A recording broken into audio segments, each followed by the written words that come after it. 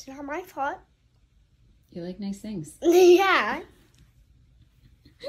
You know exactly who I am.